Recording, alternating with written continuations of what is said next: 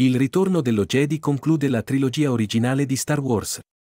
La trama vincente, arricchita da numerosi colpi di scena, è pienissima di azione avvincente e ricca di drammatiche svolte, che caratterizzano questo capolavoro, mentre il maestro Yoda rivela segreti scioccanti, che rendono ancora più splendida questa epica saga spaziale.